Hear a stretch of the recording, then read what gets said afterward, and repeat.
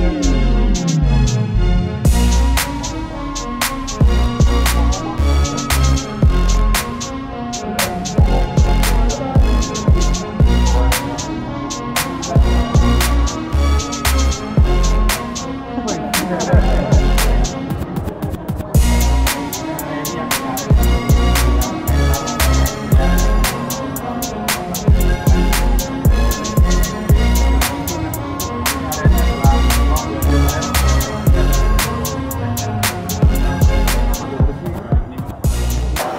Kereta akan mulai masuk di April minggu kedua lambat.